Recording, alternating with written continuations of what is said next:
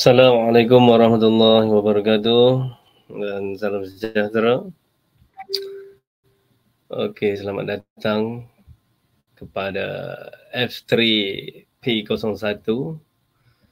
Okey, uh, sila komen lah kalau dapat melihat paparan kat depan. Tengok kat sini baru lima orang ni. Okey, sila komen. Lepas ni kita akan mula dan kita akan mula dengan chapter 2 lah. Chapter 1 dah habis. Makna dia terpaksalah saya mengajar dulu. Kemudian baru kita tengok uh, tutorial.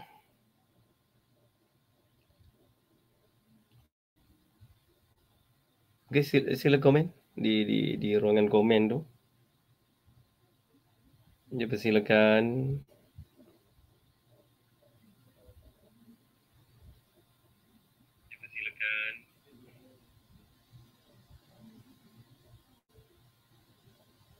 Wih, tinggal tiga orang.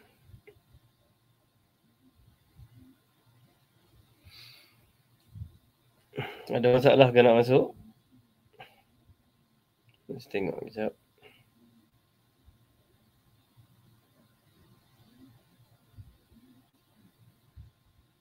Eh, ramai tak masuk ke ni?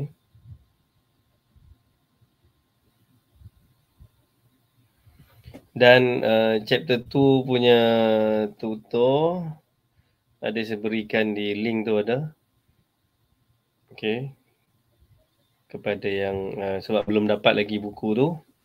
Okay, kita boleh rujuk pada situ nanti. Dan untuk uh, nota kuliah rasanya Oh, nota kuliah belum dapat ya. Yang chapter tu dah dapat kan. Okey, sila komen, sila komen. Tak ada komen seorang pun eh. Sila komen. Sila komen.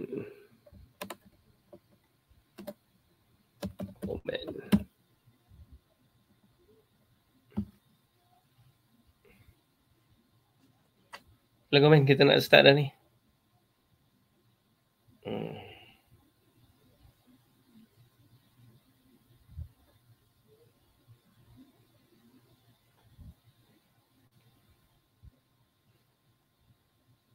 ke line tak okey? Line okey tak? Komen lah situ. Line okey ke, tak okey ke, tak nampak ke, tak clear ke. Okey, dah ada dah. Raja Azim. Waalaikumsalam warahmatullahi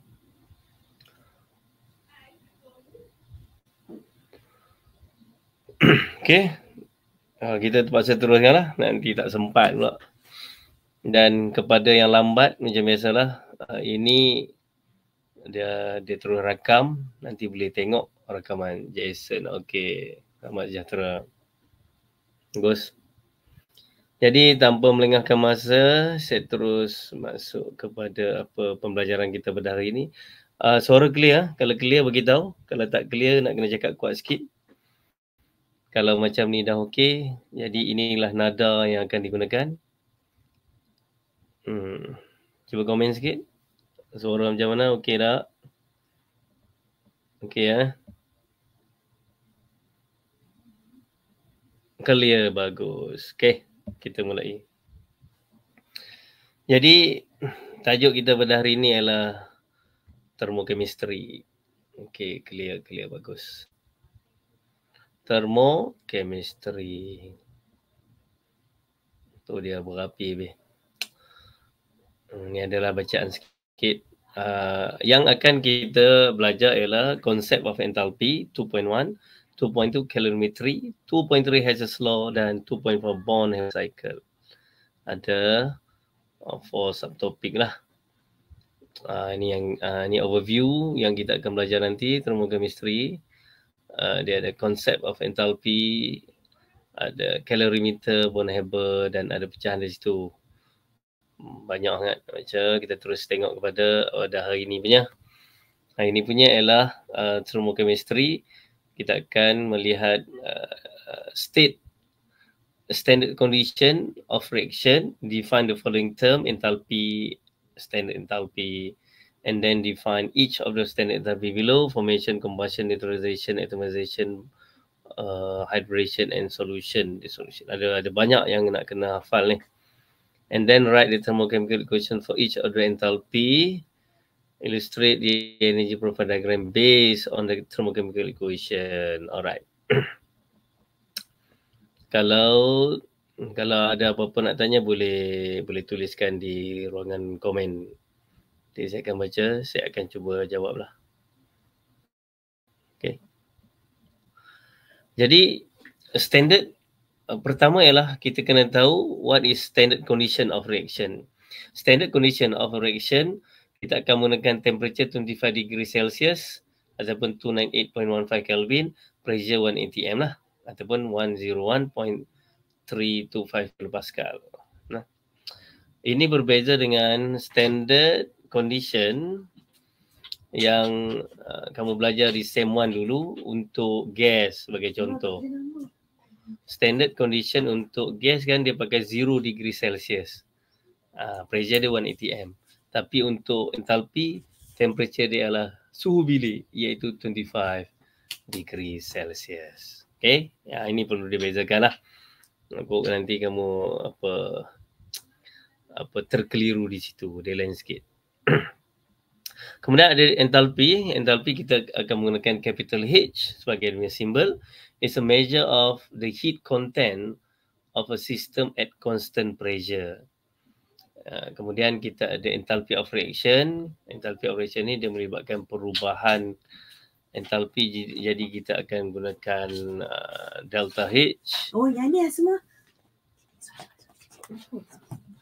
Delta H. Uh, different between the enthalpy of the product and the enthalpy of reactant. Kita akan gunakan inilah. Saya gunakan. Okay. Delta H of reaction, RXN itu adalah reaction. Uh, RXN bukan DXN. DXN uh, Sharon Estro. Kita RXN reaction. And then sum of enthalpy of product minus uh, sum of enthalpy of reactant. Kita akan gunakan ini. Kemudian uh, standard enthalpy kita akan gunakan simbol delta H tu ada not. Uh, ada macam kosong superscript kat atas tu. Uh, itu menunjukkan bahawa dia di dalam keadaan standard lah. Jadi enthalpy change for direction that occur at uh, 298.15 Kelvin ataupun 25 degree Celsius and 1 atm. Dalam keadaan standard nanti kita akan jumpa simbol ini. Eh, hilang pula ah, ni. Simbol ni. Bulat tu. Bulat kat atas. Okay. Kemudian kita ada apa yang kita panggil thermochemical equation. Thermochemical equation show a chemical equation and the corresponding enthalpy change. Sebenarnya thermochemical equation ini ialah persamaan yang telah seimbang yang kamu dah belajar dah semua macam mana nak balance equation dan sebagainya. Cuma kita tambah di hujung kat sini kita bubuh delta H. Uh, lepas tu kita berbual lah sama ada dia exothermic ataupun endothermic kan. Kalau dia endothermic kita buat positif 6.01 kg. Uh, macam tu. Kita akan buat macam tu. Dan apabila ada benda ni, delta H dia menjadi thermochemical equation. Kalau tidak ada dia akan menjadi equation ataupun balance equation saja. Dan sangat dipentingkan ialah phase dia. Ha, phase dia sangat penting. Sebagai contoh ini H2O nampak ada solid H2O liquid. Kalau kita tidak bubuh dia punya kita tak bubuh dia punya phase kita tak tahu ni berubah jadi apa. Yang ni kita tahu dia bersolid ha, ini ialah ais lah. Ha, yang mencair. Jadi dia akan absorb heat. Baru dia boleh cairkan. Dia akan absorb heat sebanyak mana? 6.01 kilojoule of heat when one mole of ice melt barulah uh, ice tu boleh melt ya ini pula contoh um, ni apa ni pembakaran lah uh, pembakaran uh, karbon lah karbon lah karbon solid jadi bila kita nak bakar Karbon kena ada oksigen. Ni sebenarnya ada negatif kat sini. Mana hilang negatif dia. Ni kena tambah ni negatif kat sini. Okay, ada negatif kat situ. Uh, jadi bermaksud 3 kilojoule of heat release when one mole of carbon is burned completely with oxygen. Itu maksud al-kisah thermochemical equation ini. Uh, jadi kita nampak, kita tengok adakah dia exothermic ataupun endothermic. Kalau exothermic, mana dia, dia akan release heat lah kalau dia endothermic dia akan absorb heat. Ha, the phase kat sini ada tulis. The phase there is a physical state lah. Kita ada uh, solid, kita ada liquid, kita ada gas. So must be specified. Kalau tak tulis salah thermochemical. Jadi mulai sekarang biasa-biasakan diri dengan menulis phase. Okay thermochemical equation rule. Yang pertama ialah for reverse equation, the magnitude of delta H of the equation remain the same but its sign changes. Sebagai contoh tadi, uh, ni H2O liquid kepada H2O solid. Daripada liquid nak jadi, daripada cecair nak jadi, nak jadi solid. Jadi dia akan release heat. Negatif 6.01 kilojoule. 6.01 ni. Kalau kita reverse bahasan ini, kita letak H2O solid pula kat sini. Jadi dia punya magnet sama je 6.01 tapi kita akan ubah dia punya sign dia. Kalau daripada liquid kepada solid dia adalah dia adalah release heat. Jadi kalau daripada solid kepada liquid dia akan absorb heat. Dia mesti terbalik. Nah. Kemudian if the thermochemical equation is multiplied by a factor of x delta H must be multiplied jugalah. Uh, H2O tadi, H2O solid uh, kepada H2O liquid positif 6.01 kJ. Kalau kita darabkan dengan 2, jadi bersama ini semua kena darab 2 lah. Uh, maka delta H pun kita kena darabkan dengan 2 juga. Jadi dapat positif 12.02 kJ. Okey, dua konsep ni saja. Kita reverse, tukar sign. Uh, kalau kita darab dengan apa-apa faktor, delta H pun kita akan darab dengan faktor tersebut. Okay, setakat ni clear. Ada apa-apa soalan? Kalau ada soalan, tulis di ruangan komen. Setakat ni masih lagi clear, tidak ada soalan. Bagus. Okay.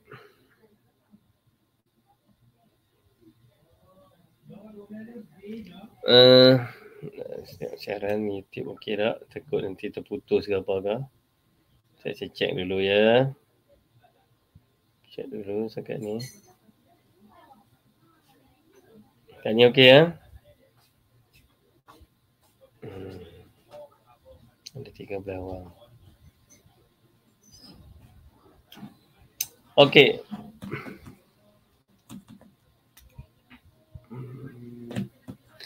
Example, kita tengok example yang pertama, consider the thermochemical equation uh, two mole of carbon, solid, eh, carbon solid. Uh, bertindak berlawan dengan hydrogen, gas, akan menghasilkan C2H2 lah. Gas. Delta H dia positif 211 kilojoule. Soalan dia, calculate delta H for the following reaction. Okay, pertama ialah C did half H2O. Maksud dia, kita tengok bersama kat atas ni, dengan bersama kat bawah ni iaitu persamaan yang kat atas ni yang warna merah ni kita bahagi dengan dua. Betul tak? Kita bahagi dengan dua. Jadi data HD pun bagi dua lah. Uh, kita tengok faktor. Apakah faktor yang berlaku kepada persamaan yang asal. Asal ni kita bagi dua. Jadi data H pun kita bagi dua. Dapatlah positif 105.5 kilojoule. Yang B pula kalau kita tengok sebenarnya apa yang kita buat B terhadap yang asal ialah kita reverse persamaan dia. C2H2 nampak duduk belah kiri sekarang. 2C carbon, 2C solid and H2 gas duduk belah kanan. Jadi kita cuma tukar tanda delta H dia daripada positif 211 menjadi negatif 211 kilojoule. Kemudian yang keempat. Yang keempat uh, kita boleh menggunakan yang C ni, eh, C dengan B ni. Cuma ada faktor 4 kat sini kali dengan 4. Ambillah negatif 211 kali dengan 4. Dapat negatif 844 kilojoule. Begitu mudah sekali. Okay, C pula. Uh, konsep enthalpy juga. Kita tengok definition uh, untuk setiap enthalpy yang ada dan bagaimana kita perlu menulis thermochemical equation. Yang pertama, yang tadi kita tengok uh, dia ada beberapa enthalpy yang perlu dihafal dan kita perlu tahu menulisnya. Yang pertama adalah standard enthalpy of formation. Dia punya uh, uh, dia punya simbol adalah delta H naught. Lepas tu ada F kat bawah dia tu. Ada F. F ni formation lah. Uh, ada F. Delta H naught tu adalah uh, standard condition. Lepas tu ada F kat bawah. F itu adalah formation. Apa dia punya definition dia? Heat change when one mole of a compound is formed from its element in their stable state at standard condition ah, sebab ada ada not tadi tu kan ah, standard condition tu kita boleh nyatakan iaitu uh, 25 degree Celsius and 1 atm ataupun abad 298 pun boleh lah Kelvin jadi yang pertama kalau soalan tu kata ialah uh, what is standard enthalpy formation of water jadi cara nak tulis dia ha, tengok ni kat sini dia kata heat change, alright. Lepas tu kat sini dia kata one mole of compound. Jadi compound dia adalah water. Dia mesti compound.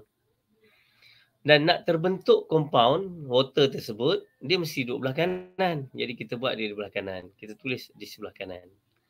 Kemudian apakah elemen yang membentuk water? Elemen yang membentuk water adalah hidrogen dan oksigen. Dan hidrogen dalam keadaan standard adalah H2 gas. Jadi kita pun tuliskan ni. H2 gas. Kemudian kita tengok pula element of oxygen. Element element of O ialah oksigen lah dalam keadaan standard dia ialah O2. O2. Kemudian kat sini kata one mole of compound. Yang ni kita kekalkan. Kemudian kita balance, kita dapati oksigen ni kita kena bubuh setengah. Wow. Okay. Okay, dah balance semua bubuh ni fasa and so on. Lepas tu kita tulislah delta H naught F. Uh, yang ni, uh, ini memang dah diberi lah. Uh, tapi uh, dia adalah negatif 286 kilojoule. Kita pun tulis macam tu. Okay. Heat change kat sini bermaksud ada um, ada elemen yang bila terbentuk dia ialah exothermic. Ada elemen, bukan elemen, ada compound yang bila terbentuk dia adalah endothermic. That's why kita akan menggunakan heat change. Contoh kat sini, um, uh, formation of H2O dia adalah exothermic. Uh, ni semua exothermic lah. Okay, dalam okay, uh, tapi ada juga yang yang yang endothermic. Jadi kita akan menggunakan heat change uh, di dalam dia punya definition dia. Okay, definition dia lah heat change. Okay. Uh, ni contoh. Okey, yang ni mungkin dah siap. Saya akan tunjukkan yang belum siap. Nanti kita akan tengok nanti betapa bagaimana hafazan tersebut membantu. Contohnya, saya nak tulis enthalpy of formation of soalan tanya ini ya. Enthal hmm, uh, let's say saya nak enthalpy of formation of um, ammonia katakan. Okey. Okey, bagaimana step-step dia? Yang pertama kita kena tahu lah amonia tu macam mana. Amonia adalah NH3. Dan dia adalah gas. Macam tu. Dan kita akan tuliskan dia di sebelah kanan. Kemudian kita akan buat persamaan dia. Kita pun buat anak panah. Macam ni. Kemudian kita tengok elemen yang membentuk amonia. Kita ada nitrogen, kita ada hidrogen nitrogen dalam keadaan standard dia adalah N2 lah dia adalah dua atom dan dia wujud dalam keadaan gas. Okey. Kemudian hidrogen. Hidrogen dalam keadaan standard dia bentuk dua atom juga H2 dalam keadaan gas. Macam tu. Kemudian kita nak balance. Bila kita nak balance kita akan kekalkan amonia ini one mole. Nitrogen kat sini ada satu, nitrogen kat sini ada dua, half. Jadi dia jadi satu. Ni pun satu. Hidrogen kat sini tiga, hidrogen kat sini dua. Jadi three over two. Ya, begitu. Kemudian kat sini kita pun akan buat delta H naught F. Macam tu. Dan menurut takrifan, takrifan dia adalah heat change. Ha, kalau kita tidak tahu, ha, kalau soalan tak bagilah, kita tak tahu yang dia ini exothermic ataupun endothermic, kita boleh buat plus minus kat sini. Ha, macam tu. Itu nilai. Eh. Buat ni ke positif atau negatif. KJ tulis. Ha, selalu diungkap dalam kilojoule. Macam tu. Nampak tak? Itulah enthalpy of formation. Kena buat satu-satu. Jadi kalau enthalpy of formation, uh, buat dulu dia punya dia punya apa? Uh, compound di sebelah kanan. Okay. Jadi sekarang saya ambil contoh yang ni. Sebesarkan sikit. Sebesar-besar alam. Okay. Macam ni. ni. Yang kedua ni. Ini ialah ethanol C2H2. Ini adalah okay, soalannya adalah enthalpy of formation of ethanol C2H2OH. Jadi ada berapa elemen dia? Ada karbon, ada hidrogen, ada oksigen. Ada tiga lah. Jadi karbon dalam keadaan standard dia ialah dalam keadaan solid dan kita tulis C saja. Dia bukan C2 ke C4. Kita tulis C. Lepas tu kita tengok sini C dia ada dua. Bubuhlah dua kat depan. Settle. Kemudian hidrogen. Hidrogen ada dua, tiga kat sini. Nampak tak? Tiga. Okay, tiga. Jadi, uh, kenapa ni tiga pula dah? Kan? Ethanol, ethanol is, is uh, saya betulkan tengok. Macam salah ni. Oh, betul lah. Tiga, empat, lima, enam. Ada enam kat sini. So it should be CH4. Ni saya punya nota. Kamu punya nota mungkin betul kot. Saya punya nota. Nota terkini. Ni nota lama ni. Saya belum update nota yang baru. Saya tengok, saya cuba tengok nota yang baru. Kalau dia okey, okey. Sama lah. Pun kesalahan yang sama lah. Okey. Kesalahan yang sama. Tak maaf betul kan? Jadi boleh betulkan kan? Boleh tengok. Kalau ethanol dia adalah uh, C2H uh, 3, 4, 5. Sini 5 lah. Ni 5 campur 1, 6. Jadi saya betulkan di sini ya. Ini 5 ya. Bukan 2. 5. Okay, okay lima situ. Uh, ethanol uh, C2H5. Jadi total hidrogen ada ada enam. Jadi hidrogen kan dia dua atom. Tiga kali dua, enam lah. Okay, dapat. Dan oksigen ada satu sini. Oksigen dalam keadaan standard, dia dua atom juga gas. Dan kita buat half. Boleh? Ada apa nak tanya sekat ni? Sekat ni ada nak tanya apa? Apa ni? Face. Face blue smiling. Smiling geli arms okay. Alright, alright. Hmm, okay. Teruskan ya. Kena betul lah. And then delta H dia. Ah, ini sebab dia dah bagi lah delta H not formation negative 278 kilojoule. Sama juga ni Al2O3 ini uh, aluminium ada dua. Jadi Al adalah aluminium kan Al saja. Solid dua. Oksigen ada tiga. 3 over 2 O2. Jadi settle. Kemudian take note kat sini. Standard enthalpy of formation of, uh, uh, of an element under standard condition adalah zero. Okay. Sebab apa? Tengok ni. Kenapa jadi macam ni? Contoh. Ha? Kalau saya kata cuba tuliskan enthalpy of formation of oxygen kita tahu oksigen ialah O2 gas kan. Kita pun tulis lah belah kanan kononnya. Apakah elemen yang bentuk oksigen? O lah. Dalam keadaan standard dia adalah O2 dan dia adalah gas. Jadi bila kita tengok O2 gas, O2 gas. Daripada oksigen, dua atom oksigen, gas, oksigen gas. Jadi of course data H not formation dia kosong. Tidak ada pun perubahan fasa dia. Kalau katakan O2 solid ke gas baru ada nilai. Okay, sebab itu delta H not oksigen zero, bromin pun zero. Sebab bromin kat standard dia adalah liquid dan terbentuk pun liquid macam tu lah. Jadi sebab, sebab itu kita kata enthalpy formation of element under standard condition zero. Kalau bukan under standard condition, uh, kalau BR uh, kalau kita ganti uh, kalau bukan dalam standard condition, let's say ini adalah solid. Yes, ada nilai lah. Macam H2O tadi tu kan. Ada nilai lah. Kalau kalau kalau sama dengan phase dia, tak ada uh, delta H dia zero. Okay, itulah formation. Kamu kena mahir tulis ni. Nanti kita akan tengok latihan. Ada beberapa latihan. Kamu kena mahir menulis enthalpy enthalpy of formation. Uh, yang kedua adalah enthalpy of combustion. Jadi kita akan menggunakan delta H naught C kat bawah. C bawah tu adalah combustion. Apa definition dia? The heat release. Uh, kat atas ni dia dah release. Jadi dia sentiasa negatif. Dia punya combustion tidak ada yang positif. Semuanya negatif. When one mole of uh, substance is burned completely in excess oxygen at standard condition. Okay.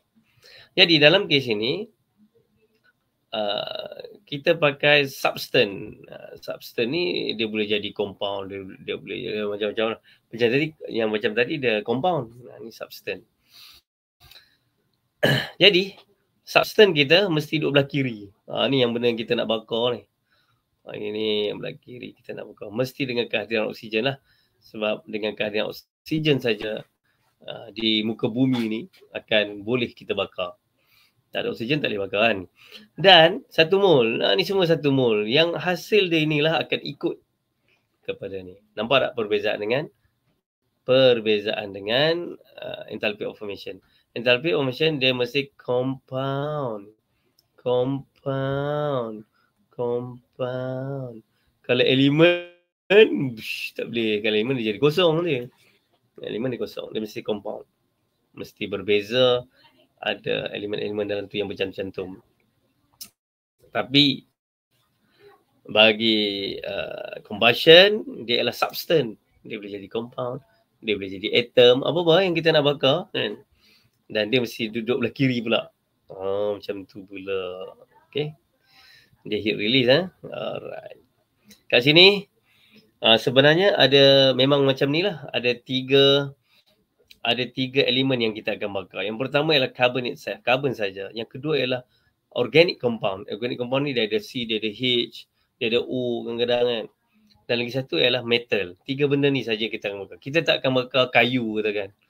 Tiba keluar soalan kayu. Mana kita tahu apa dalam dia kan. Ha, tiga ni saja. Kalau karbon dengan oksigen memang karbon dioksida saja. Kalau uh, ada C, ada H, uh, that's mean akan menghasilkan carbon dioxide and water untuk yang completely uh, burn. Kalau dia tak completely burn nanti dia jadi carbon monoxide. Dan kalau metal yang kita bakar dia akan jadi metal oxide. Tiga ni saja jangan risau. Contoh saya nak bagi yang organic compound yang lain lah. Uh, kata kita ambil yang tadi tadi uh, ni ni ni methanol ni methanol. Ni ni ni kita nak bakar yang ni. C2H5 OH. Boleh tak bakar? Mestilah boleh kan. Okay, jadi dia mesti duduk belah kiri lah sekarang. Delta H not C of. Kita ambil methanol lah pula. Tadi ethanol kan. Ni methanol pula. Methanol. Oh sudah. Macam mana methanol ni? Methanol ni dia macam ni. CH3OH. Macam tu lah. Dia adalah liquid jadi bila kita nak bakar, kita kena tambah oksigen gas. Tu panah-panah itu. Ni mesti satu mol. Okay. Kalau kita tengok ada C, ada H, ada U, tak ada benda lain. Mesti carbon dioxide and water. Carbon dioxide. Water. Macam tu. Okay. Tengok carbon ada berapa. Oh, satu je. Okay. Kemudian kita tengok hidrogen. Hidrogen ada 3, 4, nombor 2 sini.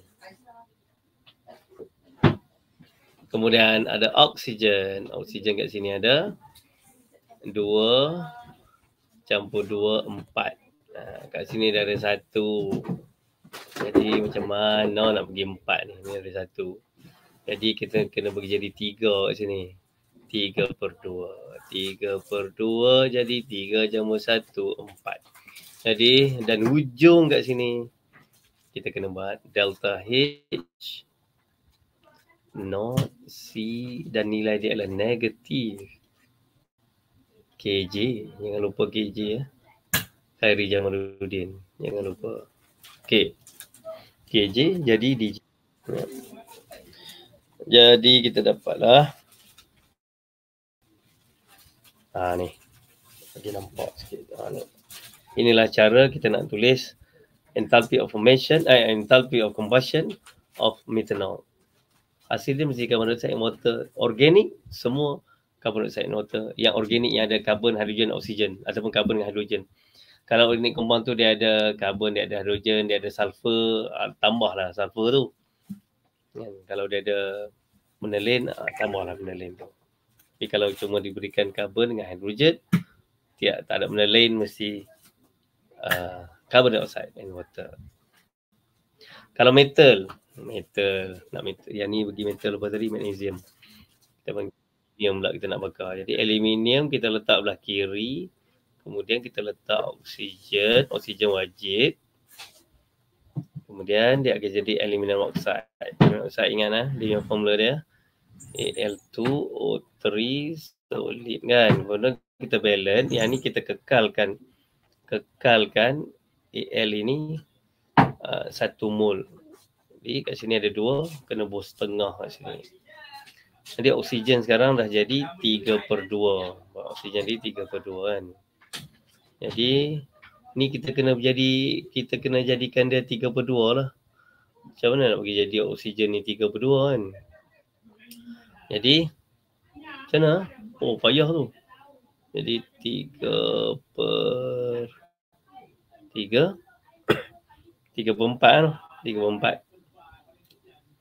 Hmm, 3 per 4. 3 per 4 baru dapat uh, enthalpy of formation of combustion. C ni negatif lah kj untuk aluminium. Kita nak bakar aluminium. Uh, make sure aluminium tu yang 1 mole. Make sure aluminium tu yang mole. Kena ada oksigen sebab kita nak bakar. Dan yang lain-lain tu kita kena uh, ubah. Uh, kita kena balancekan berdasarkan aluminium yang satu mole Best kan tajuk ni? Okay. Ada apa-apa nak tanya? Kita dah setengah jam. Uh, saya nak tengok tutorial lah kejap ni. Baru dua je. Baru dua. Uh, baru dua uh, definition. Uh, kita ambil satu lagi lah. Neutralization. Uh, ni kita tengok tutorial sikit. Eh. Yang ketiga, so dia banyak ni. Dia ada yang keempat, dia ada yang kelima. Semua ni kena hafal ni. Ya Allah, banyaknya. Banyak ah. Okay. Yang tiga dulu. Yang ketiga adalah standard enthalpy of neutralization. Delta H naught betul ada N kat bawah kecil. Jadi definition dia heat release. Ha, ni pun heat release juga. Ada sama macam heat of combustion. When one mole of water is formed from the neutralization of acid and uh, by uh, acid and base, neutralization of an acid by a base at standard condition. Okay. Jadi ini adalah tindak belas dengan asid base lah. HCl ke NaH kan. Kan dia jadi garam dan air. Yang ni kita akan make sure H2O yang 1 mole. H2O yang 1 mole. Jadi kalau yang asid dengan base tu satu mol satu mol tu no problem. Uh, dan untuk neutralization ini dia kalau asid kuat ni dia memang dah tetap dah nilai dia tak berubah. Iaitu negatif 57.5 kilojoule. So, semua sama. Semua sama. Uh, kalau yang asid lemah kan dulu kamu ada belajar weak acid tu. Cuba bagi contoh ambil ethanoic acid ke apa dia punya nilai delta H naught N dia tu akan kurang pada 57 maybe negatif 53 ke kilojoule per uh, nilai dia memang tetap uh, untuk neutralization kalau pembakaran tak berubah-ubah sebab tak sama dia punya compound dia semua kan. Uh, tapi yang neutralization okey samalah. Okey. Okay. Saya tengok contoh dulu. Sebelum mungkin banyak kita tengok example yang ni ya. Contoh yang ni. Tadi kita eh, yang pertama kan, yang kedua pula. Ni dah ada jawapan. Kita pergi yang tutorial dah ada jawapan. Nah, boleh lah yang ni dulu. A thermochemical equation is given below. Dia dah bagi satu persamaan. Dan dia tak beritahu tau ini apa dia. Ha, tapi kalau kita tengok ni. Sebenarnya ini ada uh, boleh dua. Tak apa. Write the abbreviation for two possible enthalpies represented by the equation. Yang pertama kalau kita tengok. Dia boleh jadi enthalpy of formation of carbon dioxide. Sebab carbon dioxide ni duduk belah kanan dan dia satu mol. Jadi kita boleh tulis delta H naught formation of carbon dioxide. Nilai dia apa? Negatif 396 kJ per mol lah. Sebab dia satu mol CO2. Boleh juga kita kata ini ialah enthalpy of combustion of carbon. Sebab nampak ada carbon satu mol kat sini. Um, uh, ada oksigen kat sini. Dan hasil dia ini. Jadi dia uh, dalam satu kita juga ada kemungkinan jumpa satu equation ada dua maksud dari segi uh, enthalpy of enthalpy itu sama ada formation ataupun ada lagi ada beberapa lagi kita akan jumpa yang dia berkongsi persamaan eh. kemudian B what is the heat change if one gram of carbon is uh, reacted with excess oxygen uh, okay jadi maksud kat sini negatif 39 kJ per mol ini nampak ada per mol. Dan per mol ni kita boleh merujuk sama ada kita nak rujuk pada carbon dioxide ataupun uh, pada karbon uh, sebab mana-mana pun boleh pakai kan. Jadi let's say saya nak merujuk kepada karbon lah iaitu enthalpy of combustion. Satu mol karbon ialah 12 gram per mol. 12 gram ah. Jadi satu mol ni uh, um, sebenarnya ini ialah kita bakar 12 gram ni maksudnya. Kita bakar 12 gram dia akan bebaskan haba 396 kilojoule sekarang ni soalan minta kita bakar 1 gram je. 1 gram eh, darat silang lah. Ha, 1 kali negatif 396 bahagi dengan 12 jadi kita akan dapat negatif 33 kilojoule kali ni kita tak bubuh per mol sebab kita bukan bakar satu mol of carbon. Kita cuma bakar satu gram of carbon. Jadi negatif 33 kJ lah jawapannya yang akan liberated, yang akan release, yang akan keluar apabila kita bakar satu gram carbon. Kemudian soalan C, what is the heat change if one gram of carbon dioxide form in the reaction? Dia tanya heat change pula, satu gram of carbon dioxide yang belah ni ni terbentuk uh, satu gram. Jadi kita rujuk pada atas tu carbon dioxide tu ni ni soalan dia lah. Jadi kita boleh menggunakan enthalpy of formation tadi lah. Molar mass of carbon dioxide ialah 44 gram per mol. Bermaksud 44 gram carbon dioxide itu terbentuk dia akan release heat 396 kJ.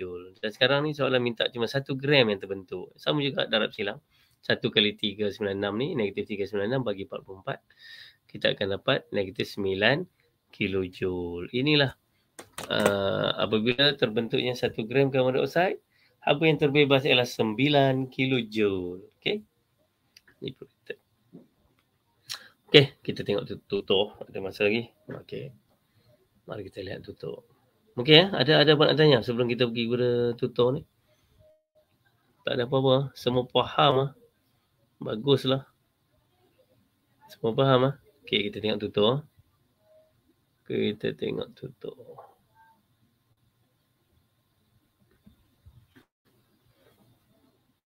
Hmm. Kamu boleh rujuk kepada kamu dah dapat buku tutor buku, buku tutor kamu dah dapat. Ya. Susah kan?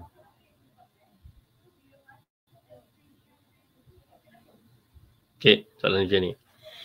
Consider the following reaction A plus 2B equal to C given the enthalpy of reactant product in activation energy. Eh, ni bukan bab satu. Eh. Saya tengok dia. Ah, okay, okay. Dia masuk juga. Okay, tak apa. Given the enthalpy of reactant product in activation energy, kan activation energy kan uh, bab satu kan. Termasuk kat sini. Eh. Hmm. Draw the energy. Profile diagram, calculate delta H calculate the activation energy. Yes, ini adalah soal. Ini adalah sebenarnya soalan nak nak kena buat kan ni? Ni tak apalah. Kita terus masuk kepada yang kita nak. ini part ini chapter 1 ni. Okay, masuk soalan dua lah.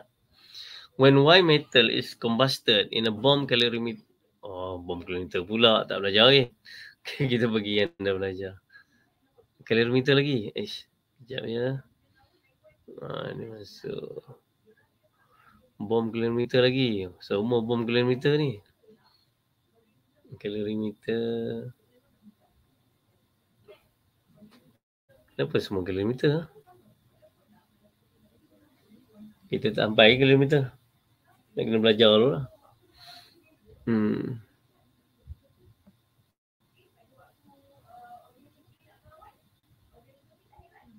Okay. Ha, ini boleh. Tapi dia ada bom kilometer juga. Kita cuma boleh cari. Saya tak mau ada. Ah yang ni boleh. Yang ni. Alah, bom kilometer juga ni. That's so slow. Wow. The heat of combustion. Ah ni boleh. Nombor 8.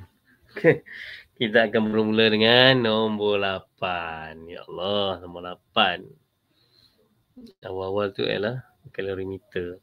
The heat combustion of benzene C6H6L, dia liquid. Given data H naught negative 3271 kJ per mole, heat of vaporization and uh, H2O liquid at 25 degree Celsius to be positive 33.6.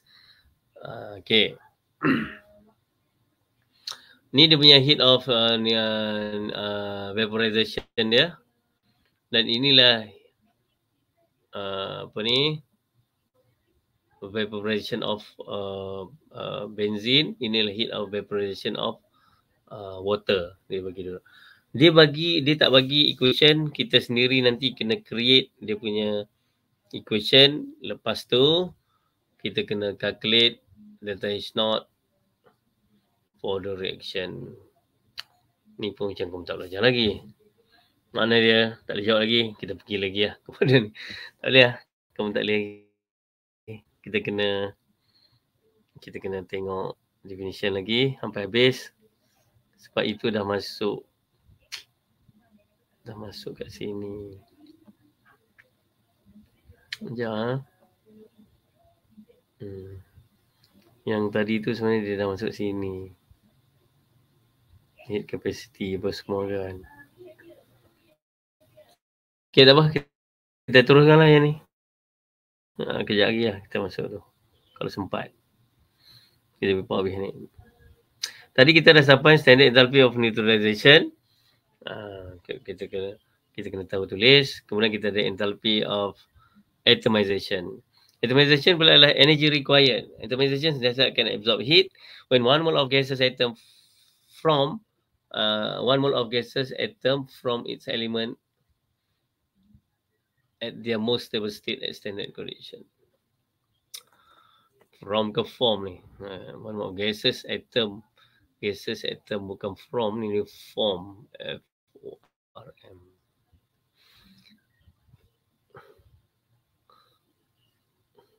From, from, uh, from, uh, from its element, yes. Okay. Um, jadi untuk atomization ini kalau kita tengok dia dari dia belah kanan ni okey betul lah belah kanan ni dia mesti atom dan dalam keadaan gas dia mesti atom dan kan energy required to form form untuk terbentuknya one mole of gases atom contoh kat sini sodium sodium dalam keadaan gas this is atomization dan ini mesti elemen dalam keadaan standard elemen dalam keadaan standard untuk sodium adalah solid jadi kita buat Na solid yang ni mesti one mole. Okay. Yang ni pula. Dan dia mesti positif. Dia mesti absorb heat. Absorb heat. Absorb heat. Chlorine. Chlorine mesti atom. Sebab nama dia atomization. Eh? Ha, mesti chlorine atom. Gas.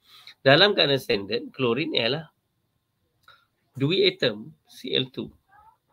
Gas. Jadi kita kena balance. Ini mesti one mole. Jadi kat sebelah kiri setengah. Okay, bromin dalam keadaan gas. Bromin dalam keadaan standard, dia adalah liquid. Ha, ni uh, kamu kena tahu fluorine dalam uh, okay, kan kita ada ada ini pun kamu kena hafal lah. Uh, siap. Fluorine dalam keadaan standard ni adalah gas. Klorin dalam keadaan standard dua atom gas. Bromin dalam keadaan standard dia adalah liquid. Iodine dalam keadaan standard dua atom dia adalah solid. Ha, ni kenapa? Eh? Ni kenapa? Eh? Untuk kumpulan 17 ni. Kumpulan 17 ah. Ha? Uh, fluorine gas, chlorine gas. Dalam keadaan standard iaitu 25 degree Celsius 1 atm. Sebab tu kat sini dalam keadaan standard untuk bromine nampak dia adalah Br2 liquid.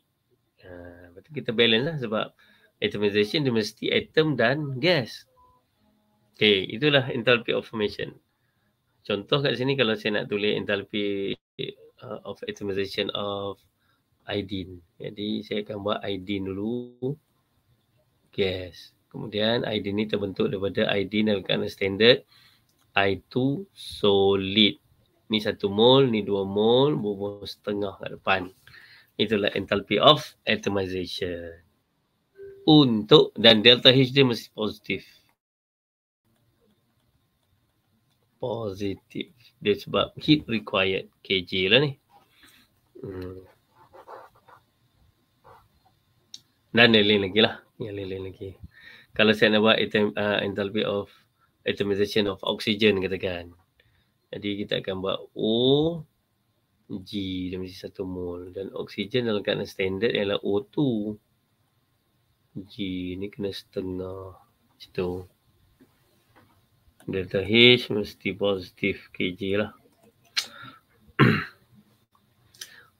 Kemudian kita ada bond energy Bond energy apa? Uh, energy needed to dissociate one mole of gases molecule of the same element into its constituent gas atom.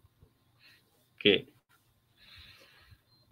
Contoh kat sini kita ambil uh, klorin. Okay. Yang satu mol dia adalah dia, dia belah kiri. Uh, klorin. Uh, klorin kan uh, tu. Kita pecahkan kita klorin tu. Dia akan jadi dua mol of klorin. Jadi kita panggil ini bond energy. Kenapa ada bond energy ini? Sebab kita nak kaitkan nanti dengan atomization. Cuba kita tengok dengan atomization. Iaitu atomization ini separuh daripada uh, bond uh, energy. Separuh. Tengok tu klorin tu uh, positif 1, 2, 3. Tapi bagi uh, bond energy 2, 4, 3. Positif 2, 4, 3. Dua kali ganda. Nah. Jadi ini pun selalu juga anti keluar nanti di dalam bond hypercycle. Uh, kadang-kadang dia bagi atomization, kadang-kadang dia boleh bagi uh, bond energy. Bond energy ialah dua kali ganda daripada uh, atomization. Dan ini cuma benar untuk yang um, elemen dia tu memang dalam keadaan gas lah. Uh, dalam keadaan gas. Contoh macam klorin, semua gas-gas lah. Gas, kan. Oksigen. Tapi dia tak boleh lah untuk sodium tak boleh sebab sodium ni dia memang dia bukannya duit atom. Nah, ha, bond energy ni benar untuk yang duit atom. Duit atom. Oksigen, klorin. Uh, nak pergi ke bromin pun tak boleh sebab bromin tu dia dia liquid dengan gas. Yang kelima ialah hydration. Hydration ni apa? Dia heat release when one mole of gases ion is hydrated in water at standard condition. Iaitu ion-ion dalam keadaan gas, kita campur air ya. Dengan kata lain dia ada air kat sini lah. Campur air dia jadi aqueous. Okay. Na plus gas.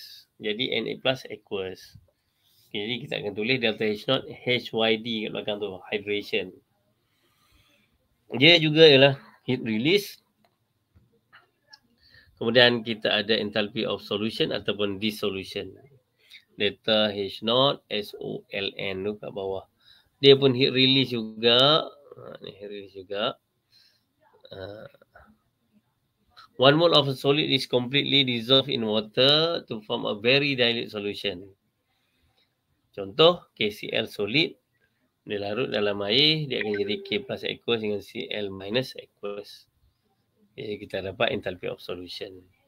senang nak ingat, kita ingat garam kat rumah, kamu masuk dalam air, kamu kacau-kacau, akhirnya garam tersebut hilang. Yang ada nampak ialah uh, macam air sebab dia dah larut, garam tersebut larut. Dia mesti dia mesti um, ionic compound lah. Uh, selalunya ionic compound yang mudah larut dalam air. KCl ke NaCl and so on. Ini contoh kita dah tengok. Kita tengok contoh yang ke ke Oi, ni dah. Ni pun dah. Okey, kita pergi kepada type of enthalpy change tadi tu. Sebenarnya kita dah tengok dah di di di uh, chapter 1 kita tengok lagi sekali ada potential end to endothermic kita ada potential energy semua kita ada reaction progress kita ada reactant lepas tu kita ada EA kan. Kita jumpa balik. Uh, dan hari tu pun saya dah cerita kita pakai produk tolak reactant jadi produk lagi besar nilai dia kat sini. Kita kecil that's why kita dapat positif nilai yang positif. Delta H not product minus delta H reactant dapat positif sesuai dengan uh, secara matematik dan uh, sesuai dengan kimia yang positif itu ialah absorb heat.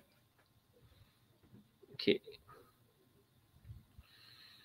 Dan ini untuk um, endo, uh, exothermic iaitu produk dia produk eh mana hilang okey ni produk dia kurang berbanding dengan reaktan jadi bila sesuatu yang kecil ni dia tolak sesuatu yang besar akan dapat nilai negatif itu secara negatif dan uh, secara matematik negatif secara kimia dia negatif tersebut melambangkan heat release to surrounding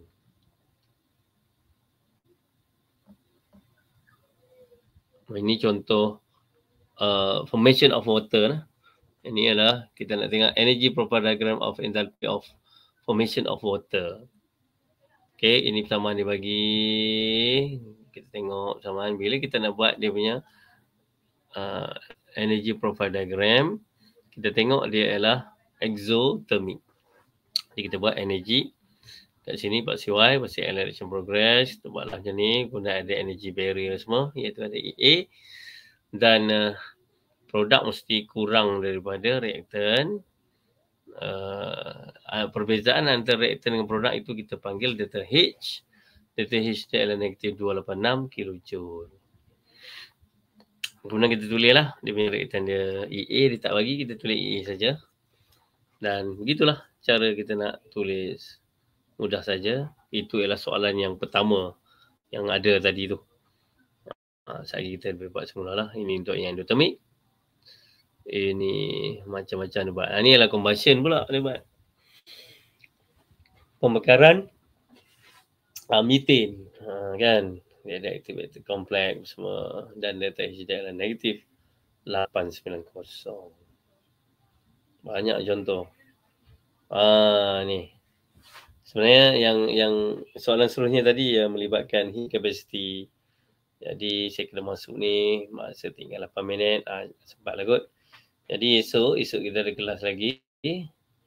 Ada 2 jam. Jadi rasanya saya boleh masuk heat capacity lepas tu kita dah boleh jawab soalan tutorial yang tadi tu. Alright. Mari kita lihat. Pertama ialah heat capacity kita nak define and then specific heat capacity and then calculate the heat change in constant volume calorimeter. Kita ada bomb calorimeter dan kita juga uh, nak calculate the heat change in a constant pressure calorimeter.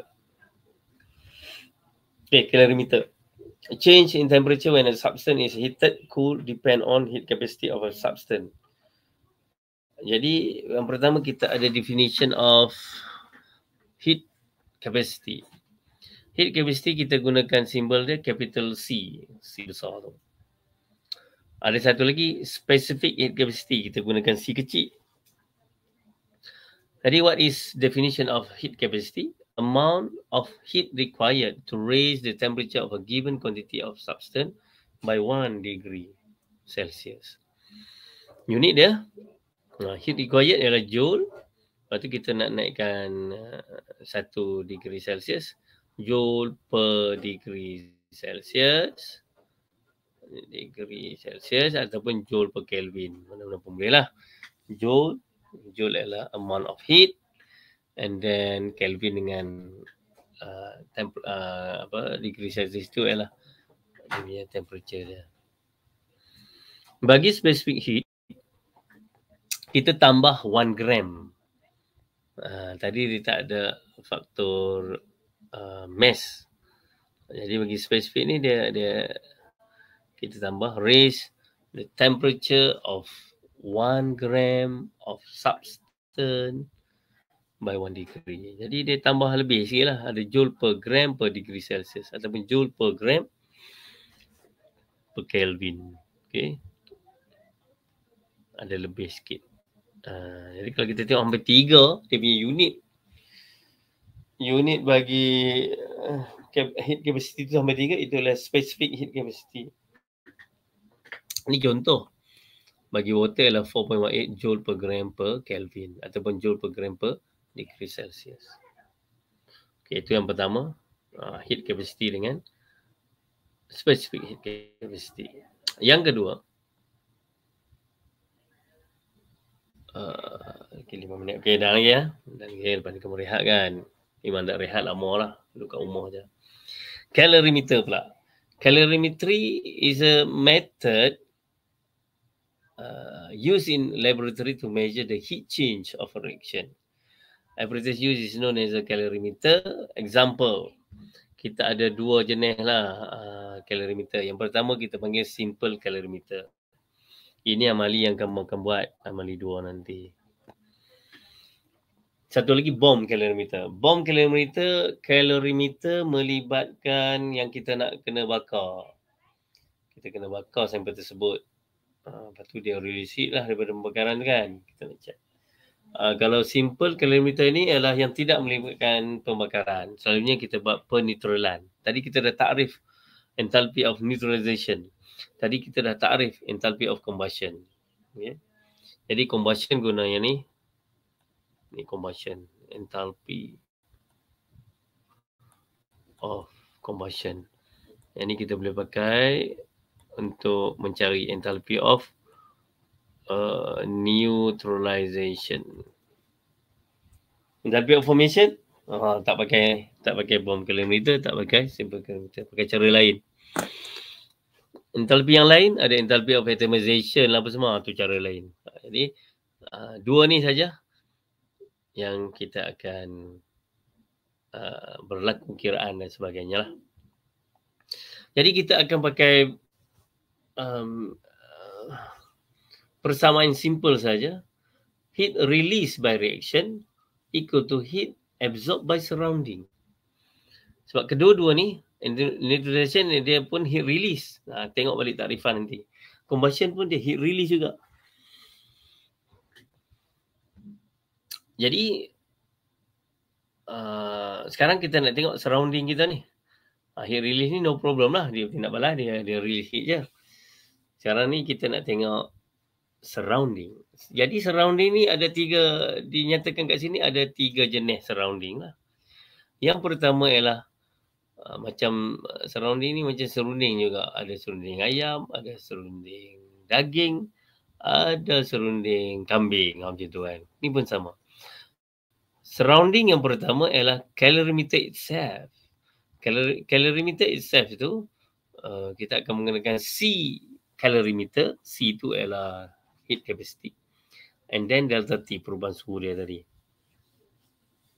Yang kedua ialah surrounding kita ialah water. Uh, sebab dia di dalam uh, bom calorimeter ni, ni dia dikelilingi oleh water, ni water. Dan juga di dalam uh, simple calorimeter ni, kita guna acid base, acid base semua aqueous. Jadi pun dia ada water. Jadi yang kedua ialah water water kita guna apa? M, W, M ialah mass lah, mass of water form tu. C ialah uh, specific heat capacity dan delta T perubahan suhu. Dan yang ketiga ialah surround disebut ialah water itself and calorimeter tu juga sekali cantum. Jadi water MC dia tadi uh, water ataupun solution lah selalunya selalunya water ataupun solution. Dan untuk calorimeter dia ada dua jenis, dia boleh jadi heat capacity ataupun specific heat capacity. Jadi ada tiga jenis surrounding. Ada faham? Hmm, habis masa lah. Jadi besok, uh, besok eh, kita besok kan? Selasa. Ke Khamis? Besok lah. Tengok balik jadual dia. Saya akan sambung. Uh, yang ni simple calorimeter uh, to determine the delta H of neutralization. Okay. Kita akan sambung di sini. Ada ada apa persoalan sangat ni? Nampak senyap sunyi eh. Tak ada apa. Tak ada. Okay. Kalau tidak apa, jadi setakat sini dulu. Untuk kelas kita yang satu jam ni kita akan sambung lagi. Ada dua jam lagi. Dan kali ini kita dah boleh buat kamu boleh rujuk kepada uh, tutorial. Uh, kalau boleh kamu try jawab dulu. Nanti kita akan tengok macam mana jawab. Jadi uh, sekian dulu untuk kali ini. Uh, Assalamualaikum warahmatullahi wabarakatuh dan salam sejahtera bye bye Thank you.